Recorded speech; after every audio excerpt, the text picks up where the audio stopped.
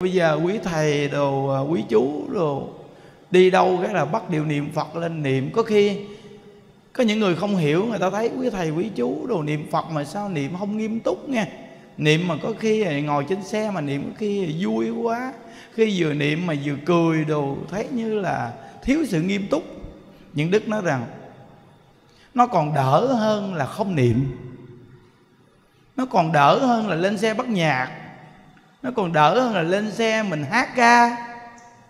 Thà bây giờ cho người ta niệm, người ta cười, người ta vui một chút. Còn hơn là quý vị bắt nhạc và hát ca. Quý vị biết rằng à, đọc quyển sách của ngài pháp nhiên thượng nhân, ngài có nói một câu. Cái câu vật hiệu này quý vị niệm giỡn nó cũng thành thiệt nữa. Vì câu ai với đạo phật nó giỡn nó cũng thành thiệt nữa. Nó lạ như vậy đó. Giờ câu vật hiệu này vì niệm nhái theo giờ nó cũng thành thiệt nữa. Nó cũng thành gieo cái duyên đắc độ về sau nữa thí dụ như giờ mình niệm ai di đà phật ai di đà phật ai di đà phật. Cái người người ta không thích, người ta nói ai di đà phật cái gì à nhái như vậy luôn đó, mà nó cũng là gieo cái duyên đắc độ. Vì sao luôn nữa? Chứ đừng có nói mà mà nói là có tâm niệm. Ừ tại vì câu ai với đạo phật là bổ nguyện mà. Chỉ cần bị nhái thôi một câu nó cũng dính luôn rồi đó. À, à nên cái câu chuyện mà những đức thường kể không? Cái người này mà chỉ mà đi vô trong rừng mà bị con cọp nó rượt một cái mà leo lên cây mà niệm mô phật, có một cái danh từ mô phật thôi. Như vậy đó mà trải dài một cái thời gian. Mà đến khi gặp đức thích ca mâu ni, ha, mà ngài hóa độ cho mà mà tu thành tựu là chỉ có đúng có cái chỗ là niệm câu mô phật thôi đó nên cái câu Phật hiệu này mà mình gieo duyên cho người ta dù người ta chê trách hay là người ta quan hỷ gì cũng vậy chứ. Người ta chỉ cần nghe qua là người ta sẽ tự nhiên à, quan hỷ liền. À, tự nhiên cái là người ta nghe qua là người ta gieo cái duyên đắc độ về sau liền không nói chứ. À, nó lạ như vậy đó. Nên á, khi mà đi xe hay gì để mà bắt cái điều đi chung niệm á, mà có cái điện thoại mà trực tiếp cho người ta coi người ta thấy người ta chia sẻ nha. Mọi người người ta coi qua cái nhiều người quan hỷ. Có những người bây giờ người ta chê trách cái vị niệm mà sao không được nghiêm túc này kia. Kệ người ta người ta chỉ cần thấy qua thôi là người ta cũng đã gieo cái duyên được đắc độ về sau. Mình bị chê một cái mà người ta được gieo cái phước duyên đó để mà người ta được thành tựu cũng tốt. Nên những đức nghĩ vậy đó quý vị. Ừ. Nên tới cái đời những đức cái chia sẻ Phật pháp chia sẻ pháp môn tịnh độ này á, là tự nhiên con người nào cũng tu được hết chứ không có bao giờ mà người nào nói niệm phật mà nói là tôi niệm không được hết chứ. Tùy vào con người đó niệm niệm lâu dài quý vị tự hiểu à. Vì Đức nói một trăm phần trăm niệm câu Phật hiệu này niệm lâu dài Thì quý vị sẽ tự hiểu được à. Bây giờ có nói thì sao quý vị cũng chưa có nhận thức được sâu đâu. Bây giờ quý vị niệm lâu dài đi mười mấy năm quý vị sẽ biết à. Sẽ biết câu Phật hiệu nó thù thắng cỡ nào liền à. Chỉ cái người niệm mà mấy chục năm mà không cảm giác được là do gì họ niệm mà họ không có sâu sắc. Sâu sắc là sao thầy? Là lúc họ tu mà họ thường thay đổi hoài. Bữa nay họ tu môn này, họ nhìn môn kia, ngày mốt họ tu môn kia, họ nhìn môn nọ, họ cứ thay đổi hoài. Trong cái thời gian mười mấy, hai chục năm đó, họ thay đổi hoài. Họ sống núi này trong núi nọ, tu môn này, nhìn môn kia. Họ cứ làm vậy hoài nên họ không có nhận thức được cái cái câu vật hiệu này thôi. Còn nếu như câu vật hiệu này mà cái người đã kiên nhẫn mà niệm 10 năm, mười mấy năm đi, rồi tự nhiên quý vị sẽ thấy cái lợi ích của câu vật hiệu này liền. Cái lợi ích của câu vật hiệu này cực kỳ lớn nên cái bài học tập của chúng ta học tập đó là mỗi ngày được niệm phật là hạnh phúc lớn nhất của đời người. Mỗi ngày được niệm phật là hạnh phúc phúc lớn nhất của đời người.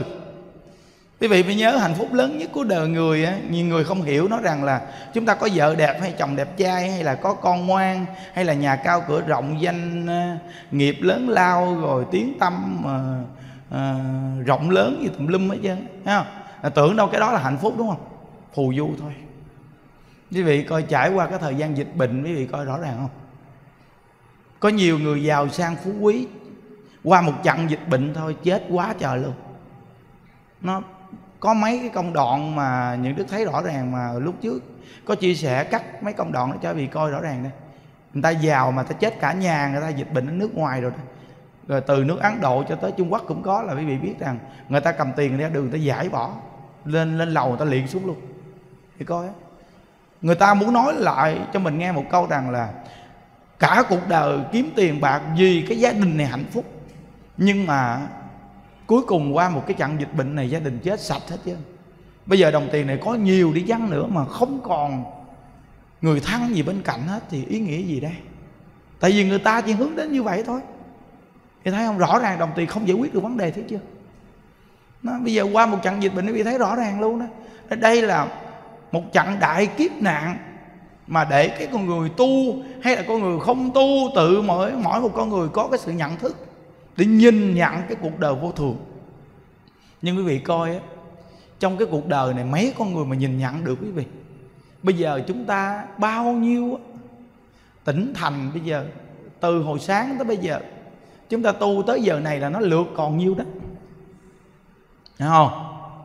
Nó nói hai ngày nhưng mà nó cũng chưa tròn vẹn đó nghe. Từ sáng tới giờ là nó lượt mấy đòn rồi đó. Là bắt đầu sáng mai tôi mới tới nữa, đúng không? Thì ngày mai tới nữa, chứ không có được tròn vẹn mà ngủ lại chùa tiếp tục. Liên tục liên tục luôn, hai suốt hai ngày. Mà nó lượt lại còn nhiêu đây á? Như hồi sáng, thí dụ như mình nói, thí dụ như hai ngàn người đi. Nó lượt tới giờ này luôn, giờ này chưa chắc được ngàn người thấy không? Nó không còn được nhiêu nó lượt lượt lượt lượt lượt lượt lượt, vậy thấy không? Đó. Rồi tuy người ta niệm phật, nhưng mà cái tâm giải thoát người ta, thật sự người ta không có đặt vấn đề giải thoát mạnh đâu. Thì kệ cái gieo duyên. Nhưng mà để muốn một đời này mà thật sự mà tu mà giải thoát, quý vị phải nhận thức cái vô thường và đặt cái tâm tu giải thoát cho nó cực kỳ mạnh. Vì sao mà mình về đây mà một ngày mấy buổi như đức nói chuyện với quý vị? Tại vì đây là cái lót nền móng và cho quý vị tăng thêm cái tính tâm. Còn cái việc tu là nếu quý vị mà tính tâm rồi là ở đâu quý vị cũng tu chứ. Cái người bỏ tu chỉ có cái người mà không có tính tâm thôi. Dù có tu nhiều cũng bỏ tu nữa. Còn cái người mà đã tính tâm mà nhận thức sâu sắc về Phật pháp rồi là không bao giờ họ bỏ Phật pháp. Một trăm phần trăm họ không bao giờ bỏ Phật pháp. Chỉ có những con người bỏ Phật pháp là những con người mà không gầy dựng tính tâm, tính nguyện kiên cố thôi nếu con người mà gầy dựng tính tâm tính nguyện kiên cố họ không bao giờ bỏ Phật pháp. Một trăm phần trăm luôn. Nên cái việc mà để cho con người tu tịnh độ mà không bỏ không mong tịnh độ chỉ đúng có cái chỗ là gì? Ngày nào cũng gầy dựng tính nguyện kiên cố. Ừ, chỉ đúng vậy thôi. Nó niệm phật nhiều niệm phật ít gì đó là cái chuyện của quý vị.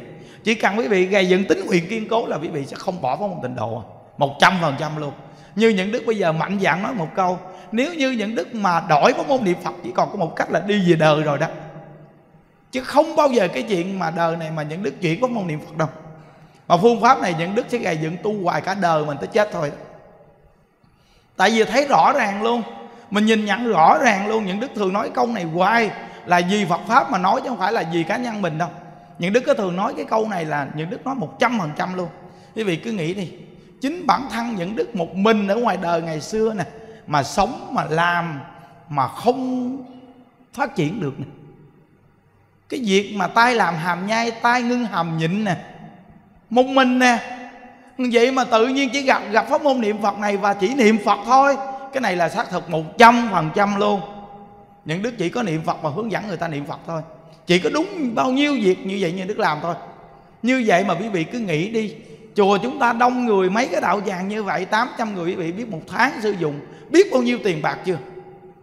Trời ơi, cả đời của người của những đức bây giờ cũng chưa dám nghĩ đến một cái chuyện mà một tháng mà cái số tiền đó để lo cho tam bảo nữa. Và xây dựng bây giờ mỗi tháng trả tiền nữa. Cho quý vị biết đó cả đời chưa dám suy nghĩ tới luôn đó. Chưa dám suy nghĩ đến một phần tiền đó luôn nữa chứ đừng có nói mà mà nghĩ đến cái việc mà cái số tiền của một tháng đó. Vậy mà con người này chỉ có niệm phật thôi nè rồi hướng dẫn người ta niệm phật. Mà nói hoài có phật hiệu luôn. Nói hoài có phật hiệu luôn. Và tán thán vạn đức hồng danh làm hoài luôn. Chỉ bao nhiêu thôi. Ai nhàm, ai chán, ai bỏ, kệ người ta. Những đức làm hoài luôn. Có nhiều người nói một câu, công nhận cái ông thầy đức này, ông lì đòn công nhận thiệt. Trời ơi, một câu ai Phật niệm đến cùng mà giảng hoài. Một ngàn tập rồi. Đó. Bốn lần là một ngàn hai trăm tập thì bây giờ hơn một ngàn tập rồi. Vậy mà cứ nói hoài, không sợ nhàm luôn. Những đức nói, tôi không có đặt vấn đề, người ta nghe nhiều ít. Mà tôi đặt vấn đề là tôi nhắc tôi hoài. Tôi biết rằng nhiều người tu tịnh độ này mà bỏ cuộc. Tôi đã thấy rõ ràng. Tôi đi đến ngôi chùa tôi học tập đầu tiên nè. Chính vị thầy nói kinh khủng luôn kìa. Như vậy mà còn chuyển biến thì không chi là cỡ mày những đức. Những đức cứ nói mình như vậy hoài mà nói, mày chưa chắc đâu chỉ còn có một cách là ngày nào mày cũng phải nhắc người ta để nhắc mày. Ngày nào mày cũng nhắc người ta để nhắc mày thì mày không bỏ tịnh độ. Tịnh độ này không đơn giản đâu quý vị à. Ừ, nó không phải là một cái pháp đơn giản đâu. Nếu là một cái pháp đơn giản vì sao phật nói là pháp khó tin? Vì sao mà cái pháp này mà mà đơn giản mà vì sao mà mười phương chư Phật tán thán? Mà bậc đại sĩ còn phải niệm Phật cầu sanh cực lạc nếu là cái pháp này là cái pháp đơn giản, vì sao gọi là tam căn khổ độ phàm thánh tề thâu như vậy thì những con người này vô cùng đơn giản. Một bà già vô cùng đơn giản, một đứa con nít nhỏ xíu mà nó chịu nghe tịnh độ, nó chịu niệm phật, quý vị nghĩ nó đơn giản không? Cặp mắt của phàm phu chúng ta không nhìn ra. Nhưng mà chúng ta dựa vào kinh giáo của phật dạy, thì con người này trong nhiều đời, nhiều kiếp á, họ không có đơn giản chút nào và quý vị phải nhớ rằng tất cả chúng ta là những con người niệm phật này đó nghe. Là trong nhiều đời, nhiều kiếp á, là chúng ta là người tu tịnh độ này nó quá nhiều rồi. Nó quá nhiều đời, nhiều kiếp, nhưng mà chúng ta chỉ đúng một cái bệnh này mà không được thành tựu con đường giải thoát thôi. Đó là chúng ta tu giữa chừng, chúng ta bỏ cuộc. Đoạn đường 10 phần, chúng ta tu hai phần bỏ cuộc. Đoạn đường 10 phần, chúng ta tu ba phần bỏ cuộc. Đoạn đường 10 phần, chúng ta tu 5 phần bỏ cuộc. Đoạn đường 10 phần, chúng ta tu 9 phần bỏ cuộc. Tới 9 phần rồi vẫn bỏ cuộc luôn cuối cùng bỏ cuộc thì rớt lại. Chúng ta không chịu đi 100% chúng ta không chịu đi hết cuộc đời. Nên chúng ta đều là quay trở lại. Nên cái người thiện căn dày thì vừa nghe là tin liền. Cái người thiện căn mỏng mỏng là phải được bổ túc hoài. Bổ túc bổ túc bổ túc để nó tăng thiện căn lên. Nên cái pháp này gọi là cái pháp thiện căn phước báo nhân duyên thì mới tin pháp này. Nên cái người nghe đã là khó nghe rồi. Không chi là người nghe mà tin những đức nói cho quý vị nghe nghe nếu mà nói về người xuất gia bây giờ mà để mà tin tịnh độ thì trong một ngàn người quý vị chưa tìm ra được 10 người xuất gia tin tịnh độ nữa Thế thì biết không? Nếu như một ngàn người xuất gia mà có 10 người xuất gia tin tịnh độ Thì tịnh độ thịnh liền Tin không? Tịnh độ nhất định thịnh liền Tin là tin sao? Tin là lì đòn và liều mạng và niệm là tin đó. Những đức từ khi vô chùa gặp tịnh độ tin niệm tới bây giờ đi xuống đây không có một cắt bạc cũng niệm phật luôn á. À, niệm phật không có một cắt cũng niệm luôn á. Mới xuống đây có gì đâu. Những đức là ở trên núi mà xuống đây có gì không? Đi đến chùa hòa thượng hòa thượng xây chùa nhưng mình phải nuôi chúng có gì không? Phải niệm. Rồi niệm tự nhiên ta đem tiền lên ta đưa nuôi mấy mấy người già. Rồi dư ra làm tượng phật tặng người ta rồi tiếp tục mở khóa tu niệm phật luôn. Mà một con người không biết gì cả luôn. Một con người chưa từng trải qua trường lớp gì giảng pháp luôn. Chỉ có niệm phật không? Từ khi đi tu tới giờ hơn 13 năm, chưa từng bước đến trường Phật học ngồi một phút nữa. Không có sự nghiên cứu gì, không có sự chỉ dạy gì rõ ràng hết. Chỉ là tự mài mò đọc sách tổ sư, rút nhặt những đứa có một cái là gì thôi. Lạ thay một quyển sách, những đức chỉ cần đọc qua một lần như cái quyển sách mà ấn quan đại sư gia ngôn lục, những đức đọc qua được có một lần. Vậy mà một lần những đức đọc qua này, những đức chích lục được 200 câu. 200 câu quan trọng nhất trong cái quyển sách của ấn quan đại sư gia ngôn lục. Quý vị coi những đức thường chia sẻ cho vị nghe hoài đó. Thường đọc những câu quan trọng nhất của tổ sư đó đó là những đức chích lục ra đó. Còn những đức ngày xưa đã từng đọc qua sách của khổng lão phu tử, chưa hết quyển sách, nhưng mà những đức đã nhìn ra được cái sự giáo dục của lớp đệ tử quy nên chích lục được đâu cả trăm câu ở trong lời dạy của khổng lão phu tử.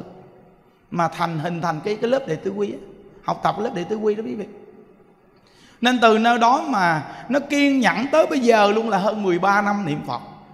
Nếu hỏi rằng Niệm Phật hơn 13 năm có đạt được cái gì hay không Những đức nó không có đạt được cái gì cả.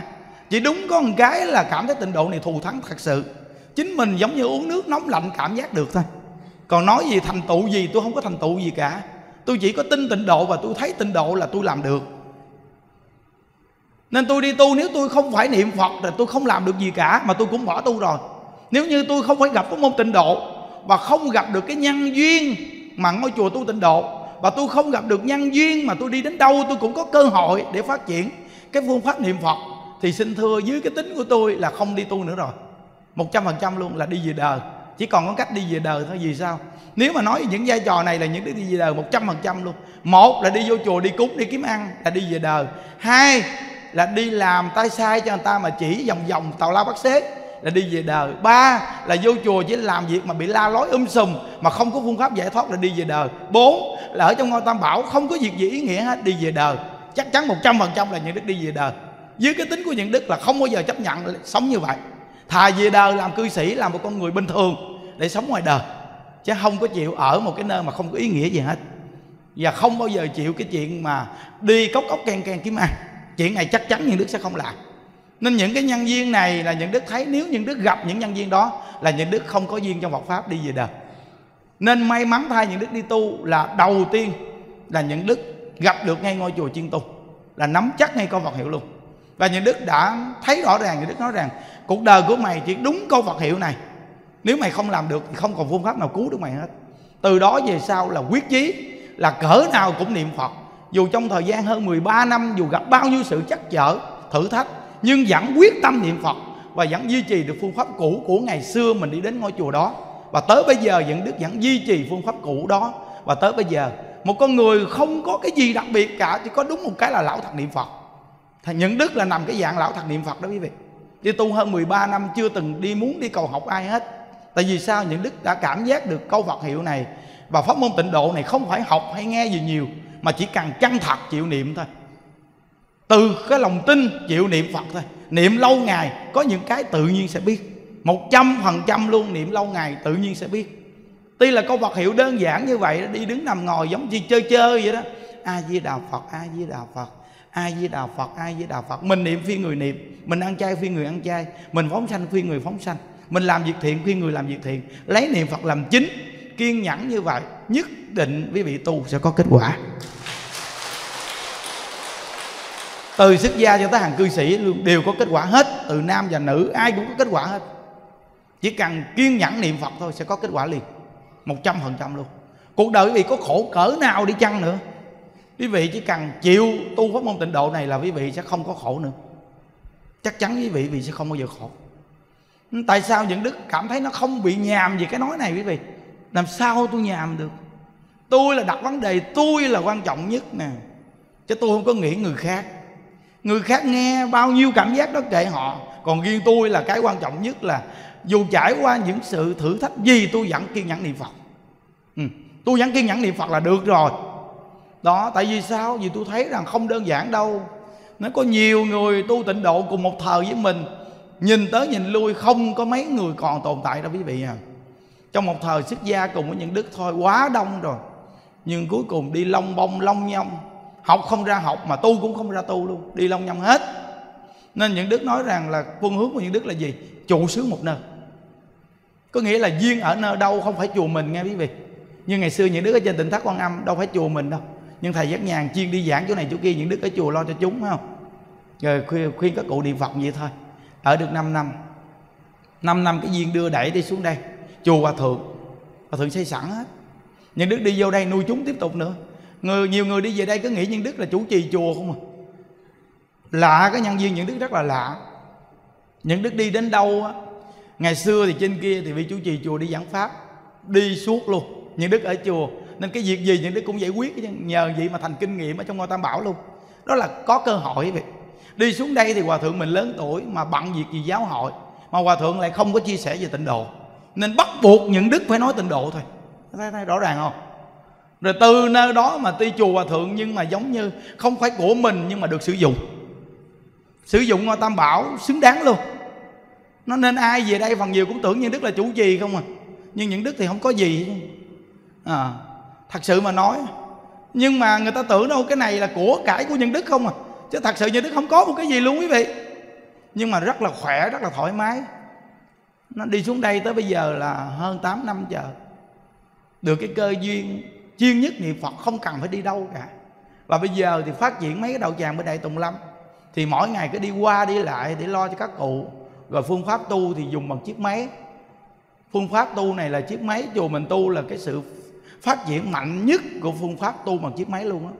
Quý vị cứ nghĩ chùa của chúng ta đi. 3 giờ 30 buổi sáng tu thì tất cả các đạo tràng của ba bốn đạo tràng đều 3 giờ 30 tu hết. Đúng một phương pháp luôn. Tu xong rồi là tới giờ ăn cơm là tất cả các đạo tràng ăn cơm đúng giờ luôn. Rồi xong quét chùa chiền sạch sẽ xong 8 giờ 30 là bắt đầu là tu là 8 giờ 30 toàn bộ các đạo tràng tu hết là một lượt luôn. Quý vị coi nếu như mà dưới cái lượng xuất gia của chùa mình mà nói cái việc mà nói mà các đạo tràng này mà cho các thầy mình mà dẫn chúng tụng kinh niệm phật á chắc quý thầy mình chắc là gì nè?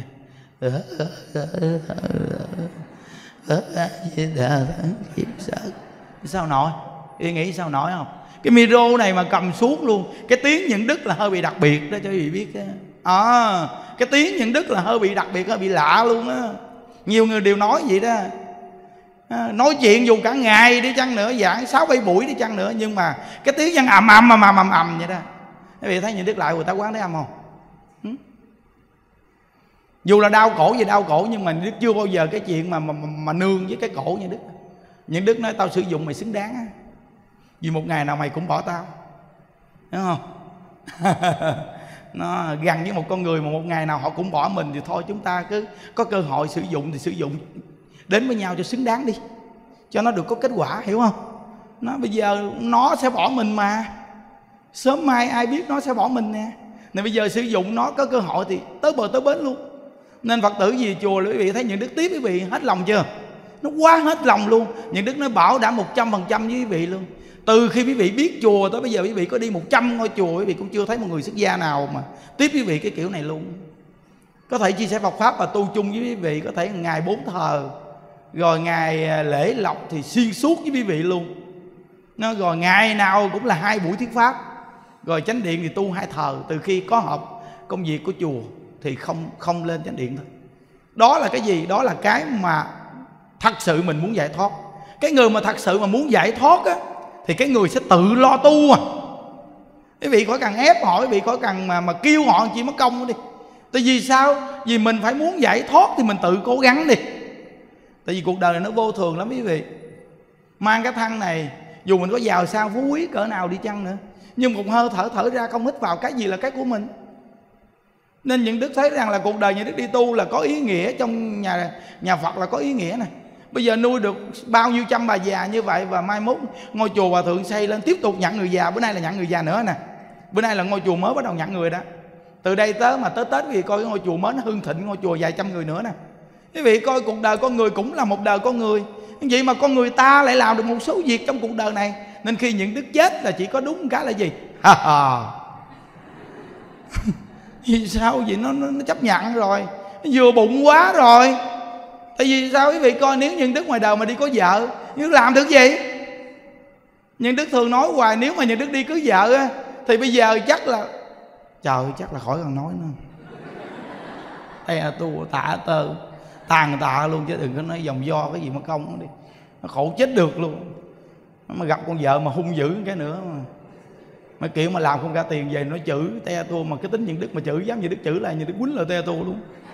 Tối ngày vợ chồng quýnh lộn hoài luôn. Cái tính mình cũng cọc tính đó quý vị. Nó nói nó nói nặng mình bục là thiệt chứ không giỡn đâu. Hiểu không? Nên may mắn thay đi tu, thấy chưa? Ý nghĩa vô cùng luôn nên bây giờ mấy cái đạo tràng mà nó mọc lên thì tất cả những người khắp nơi quý vị đều có cơ hội chứ. Những người mà có tâm quyết đi tu là tự nhiên những ngôi chùa này quý vị có cơ hội à. Một là cuộc đời của người những đức, nó cũng là một thanh niên ngoài đời ngày xưa lan bạc nữa.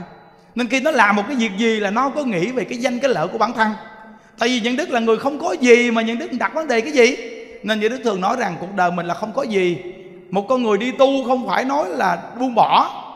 Có gì đâu buông bỏ người ta giàu có như thấy tử tác đạt đa gọi là buông bỏ. Còn mình á là đất cấm dùi không có mà buông bỏ gì. Ngoài đời ngày xưa làm khổ quá trời luôn. Nó, mỗi buổi tối đi ngủ nằm chiếc xe cơm ngủ. Bảy tám năm giờ nằm xe cơm bốn năm năm giờ nằm bàn ăn. Giờ gặp được Phật pháp tự nhiên tiếp nhận Phật pháp và đi tu. Buông bỏ làm gì buông bỏ? Nhưng Đức làm có lý do gì buông bỏ chứ nghe. Vì có gì đâu buông bỏ vợ cũng chưa có, tiền cũng không có, đất cũng không có, sự nghiệp cũng không có, nghề nghiệp cũng không rõ ràng. Vì buông bỏ cái gì? Những đức là may mắn gặp phật pháp, là tiếp nhận phật pháp là tu, chứ không có gì buông bỏ chứ nên từ nơi đó mà vô trong chùa mà có cơ hội, bây giờ làm việc cho đại chúng, làm việc cho chúng sanh, là mình thấy cảm ơn phật rồi, quá cảm ơn phật rồi. Nên người ta cũng quý thương mình nói là mình thấy cuộc đời ấm áp rồi cuộc đời mất ờ, mất mẹ sớm, sau này cha cũng mất bây giờ được lo cho bao nhiêu trăm bà già, được phật tử cũng quý, thương, tôn trọng. Điều đó là cảm ơn phật quá trời, chứ còn cái chuyện mà nói đi tu mà những đức nói mà buông bỏ thì những đức không có gì buông bỏ chứ. Còn vô đây mà nắm tùm lum tùm la đó là tại những đức thôi chứ những đức không có lý do gì hết chứ. Vì sao gì những đức có gì đâu. Nó bây giờ đi tu rồi quý vị coi, đi vô chùa nè, tiền bạc lo cho đại chúng cũng có nè rồi mỗi ngày cũng có chiếc xe hơi chạy tới chạy lui qua lại đậu tràng nó cho trò ngon ghê. Còn còn cha mẹ người ta, còn cái gì nữa? Chờ ngoài đời đi xe, tay ga chưa có được tay ga xịn. Gì mà đi tu mà. Bây giờ được cái ơn của Phật mà, chăng thật mà làm mà được gì cũng cũng cũng ngon lắm rồi đúng không? Rồi cuộc đời cũng có ý nghĩa, nhiều người biết đến vị con. Vậy là quá trời ơi. Vậy là cái ơn Phật là quá lớn đối với mình. Rồi còn gì nữa chàng? Thì bây giờ cả đời này có phục vụ tam bảo thôi hết lòng hết dạ phục vụ tam bảo thôi. Đó là những cái phương tiện mà để sử dụng ở trong ngôi tam bảo cho nó tiện lợi để mà mình phục vụ chúng sanh thôi. Chứ còn cái gì nữa bây giờ? Nó bây giờ cái tuổi, từng tuổi này rồi bây giờ mới nghĩ 41 tuổi rồi. Thì cuộc đời con người có khi vô thường ai biết được. Có khi cái này ở đây nhưng mà tối nay biết đâu nước biển nó tràn ầm ầm vô. Cái biển mà hoặc là đất cát ở đây tự nhiên nó sụp sụp sụp. Thấy không? mình đang nằm ngủ vậy ầm mà mà vậy trời nhà quay quay dưới ta. Không, nó đè chập lép trên queo hết trơn, của cái gì của bạn? Không? Nói đây không phải là chúng ta cảm thấy mình chán đời, nhưng mà để nhắc con người mình đừng có bị vật chất của cải nó làm cho mình bị mờ ám, tối tăm. Con người ta cứ khổ hoài trong cái vật chất, không có ngày thoát thân ra được, quý vị. À. con người chúng ta là khổ hoài luôn, không có ngày thoát luôn. Bây giờ ở đây một cái ề này mà rồi xây dựng gì nữa một tháng biết bao nhiêu tiền bạc mà nói nếu mà nói gì lo cũng không biết đường nào mà lo luôn. Bây giờ nó lo không biết đường nào lo nữa. Chỉ có một cách là a di đà phật a di đà phật. Chỉ có vậy thôi. Lúc nào mà hết tiền thì niệm mùi mùi một chút. A di đà phật a di đà phật. Giống năn nỉ với a di đà cho tiền vậy. thì coi, còn lúc nào mà có tiền thì niệm a di đà phật a di đà phật. A di đà còn lúc nào mà thiếu tiền thì a di đà phật a di đà phật a di đà phật. Tiền nè con.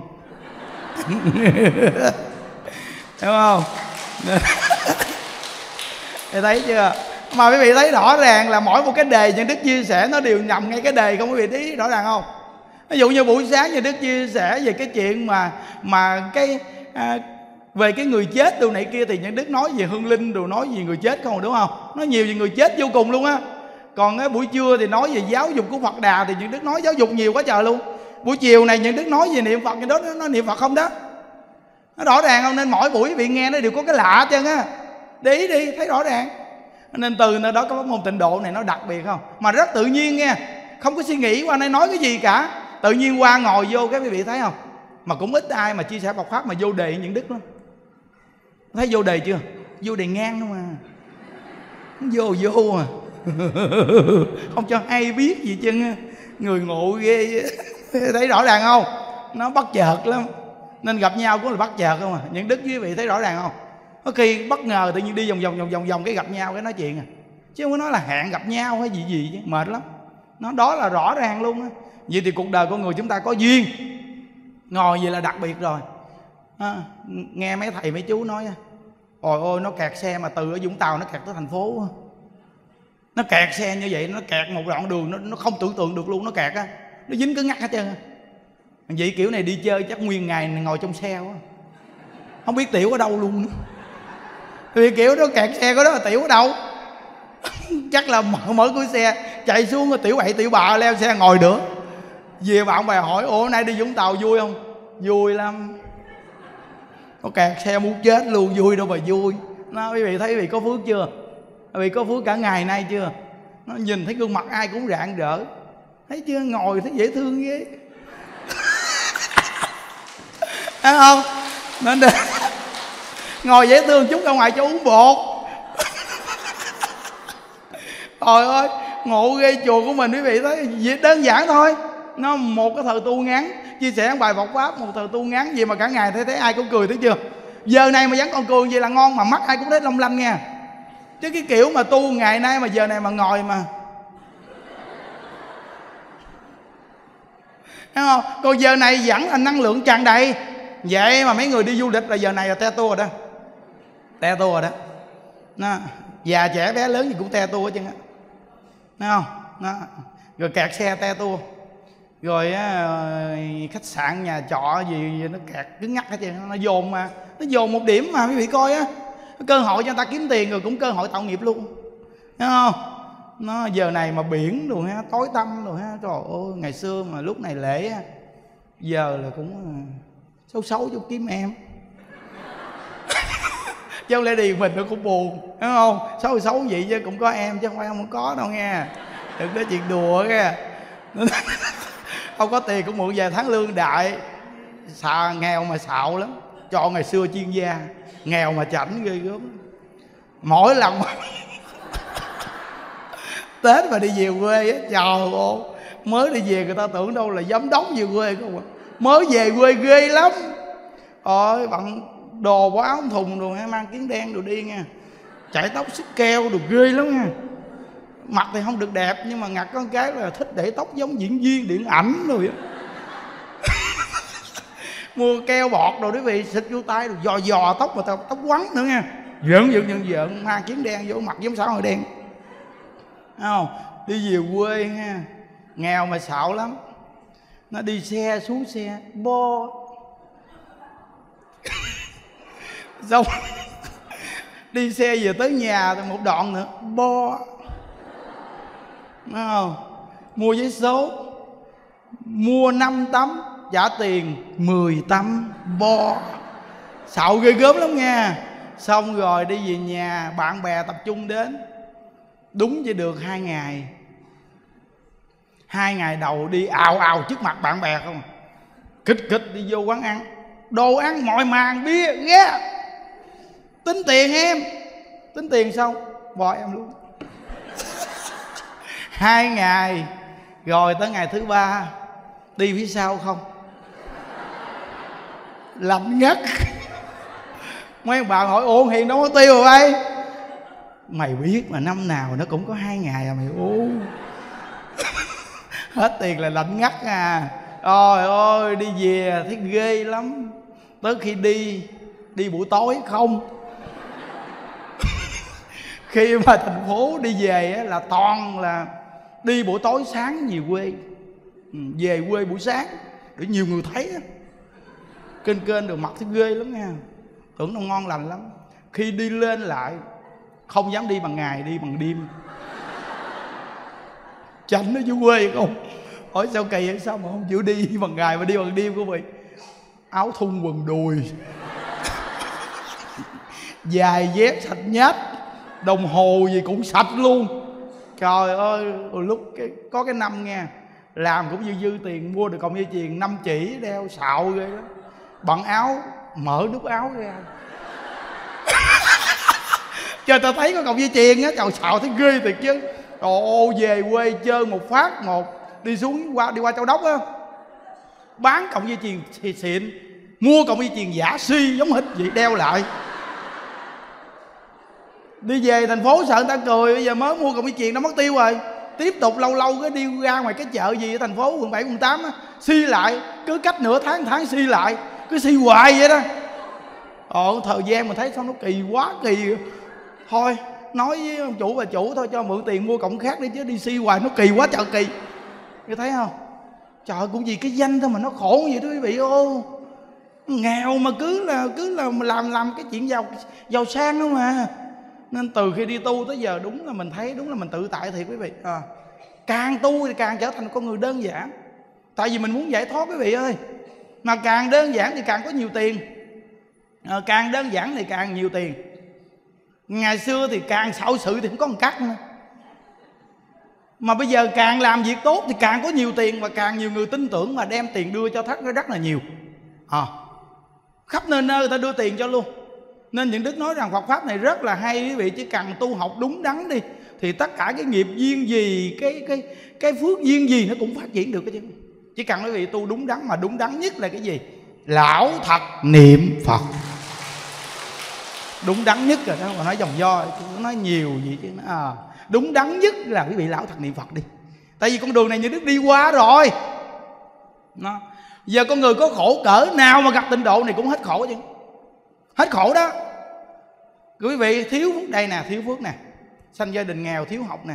Học có lớp 3 học lớp 3 mà ở lại 6 năm trời ơi, kể về lịch sử đi, học mà thấy ghê luôn.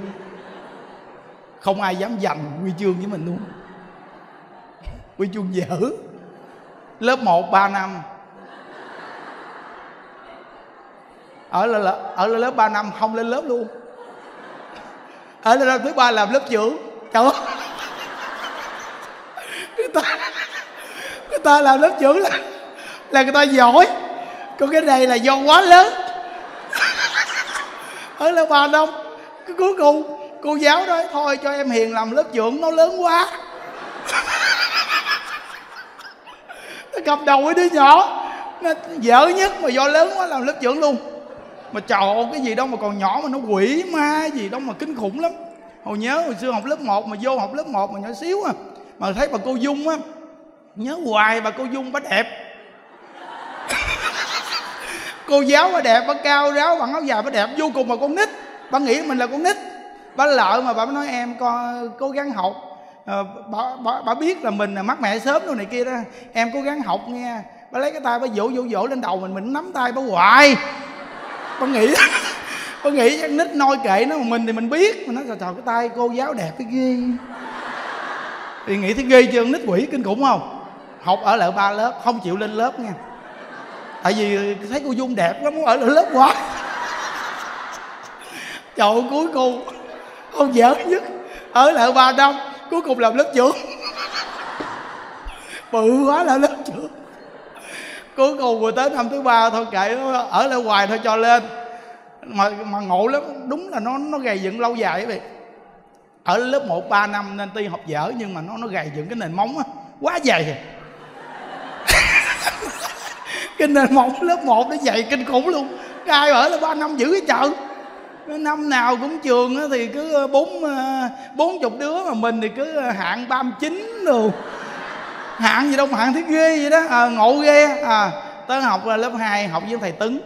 Thầy tấn ổng thì thầy giáo mà ổng đi à, làm rẫy rượu dữ lắm.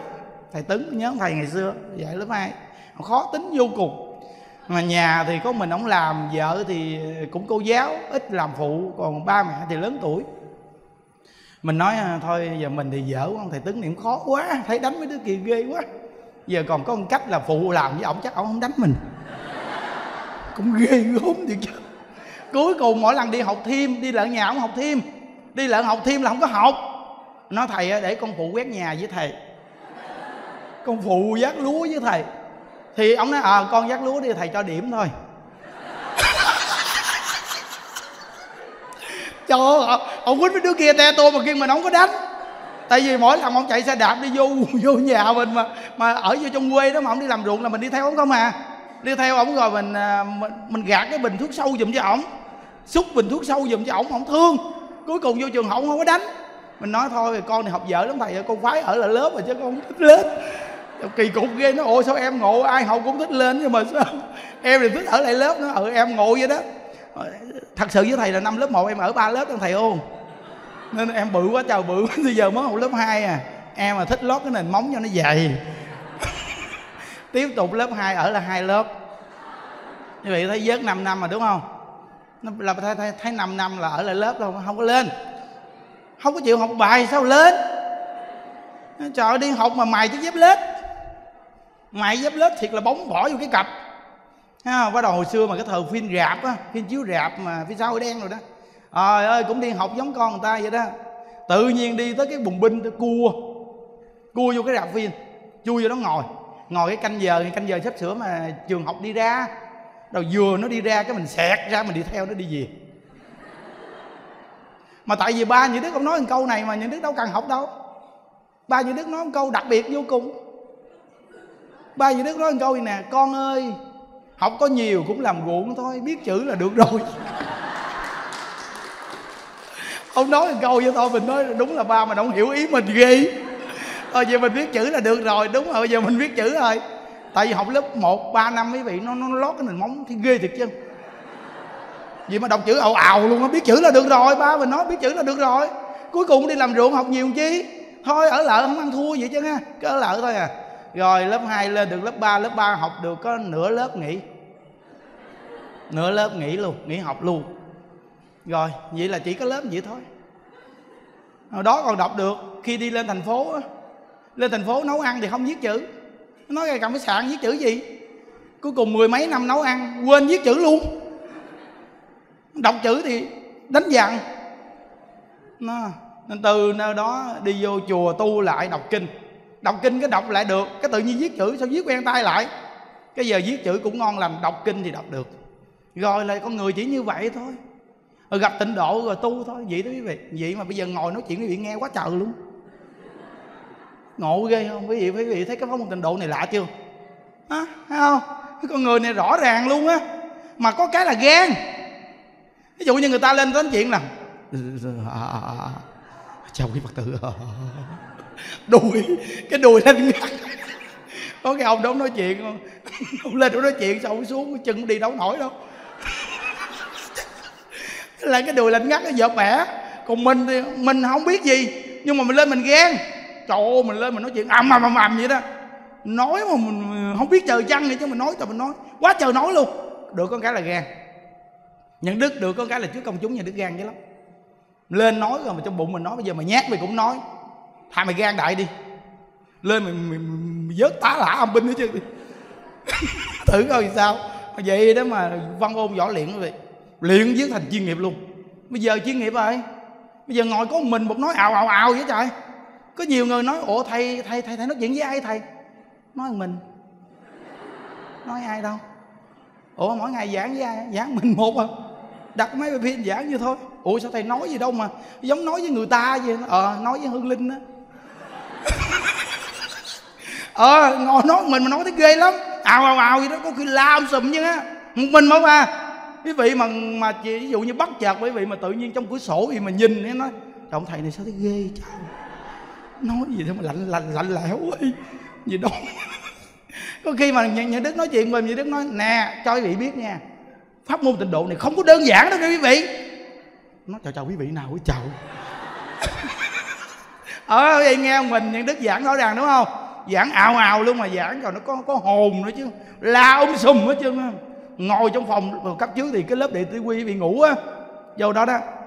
Có nhiều người nghe mình quá, xong rồi người ta lợi người ta hỏi, thầy ơi, có nhiều người cái phòng thu của người ta nó đặc biệt lắm. Cái phòng thu của thầy chỗ nào cho con vô con tham quan? Như đức nay mắc cỡ quá à. phòng thu không có đâu cô ơi. Muốn coi không? Muốn. Xuống cái nhà đó đó. Nhà cấp 3 sắp sập. để cái hình thánh chúng ngồi giảng thôi. Bao nhiêu năm nay nó vậy đó cô. Xong cái à, hòa thượng sắp sửa xây dựng, những đức nói à sắp sửa xây dựng là chắc chắn à. mình ngồi dưới đó khó nha giờ phải tính làm sao? Rồi tết nhất phật tử về, người ta ngủ đông quá, người ta nằm, người ta ngủ hết trơn. Ngay chỗ đó. Giờ sao đây? Thôi, rồi cấp tết quý vị thấy những đức chia sẻ mấy buổi Phật pháp mà để cái dừa là phòng những đức á. Cái phòng những đức là cái giường nằm đây, cái chỗ giảng đây nè cái đem hai cây dừa để sau lưng. Lúc trước chưa có bức tranh, gần tết đâu có làm được đâu. Cái cuối cùng nhờ ông thầy những ăn này nè, ông ra ngoài à, cái chỗ mà bán cây kiển ngoài nói, ông lựa giùm tôi hai cái cây. Cuối cùng lựa hai cây dừa nước cho mình. Nói cho bụng, ông lựa cũng ngộ ghê luôn á. Nhìn cái mặt như đứa cũng giống cái dừa nước đó, ông lựa hai cái dừa nước. Để sau lưng cái dừa ấy này ngộ ghê á, ngồi nói mình nói chuyện với sau cây dừa á phải không? Cái đầu là bức tranh bức tranh có xong cái để bức tranh vô. Tới bây giờ luôn á, bức tranh đó đó. Rồi cây dừa đem xuống dưới đây rồi đưa qua bên cái bảo tháp bên kia để bên làm kỷ niệm. Hai cây dừa từng ngồi giảng đó. Thấy không? Bây giờ là giảng trên phòng luôn, khỏe re luôn, ngay phòng luôn. Ôi, ô, nó tự tại gì đâu. Mỗi ngày ngủ xong thức dậy, niệm phật niệm phật xong đi giảng pháp, ngồi tại chỗ luôn. Bước ra đó, thay y giảng pháp giảng pháp xong lột y ra nằm võng niệm phật tiếp tục. Ngay phòng mình luôn gọn hơi khỏi cần đi đâu luôn quý vị. Bây giờ mưa gió ào ào cỡ nào mặc kệ, ở trong phòng mà sợ gì? Lúc trước còn đi qua bên kia còn sợ mưa đúng không? Bây giờ khỏi sợ mưa luôn. Khỏe ra tới giờ cái chia sẻ Phật pháp tự tại vô cùng, ngồi có mình một. Vì mà bài giảng đưa lên khắp nơi, người ta vô người ta coi. Chia sẻ tùm lum tùm la chứ. Mặt xấu gì mà cũng chụp hình nhiều lắm nghe. à ơi ơi, cái nhiều cô làm hình mình được nha có lần mà chụp hình làm nè. Cái cô kia nhắn tin của nó, thầy thầy ngầu quá. Bữa sau chụp lại.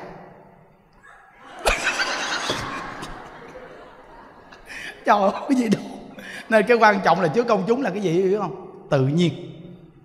Thì thấy những đức nói chuyện tự nhiên, đúng không? Cái chuyện rất tự nhiên mà thời gian qua rất là mau. 45 phút rồi đó. Thôi, chúng ta học tập đến đây thôi quý vị. Chúc quý vị an lạc nha. Ai di đà phật. À, quý vị à, chắp tay lên hồi hướng nha. Nguyện à, đem à, công à, đức à, này hướng à, về à, khắp tất cả đệ tử và chúng sanh đồng sanh về tịnh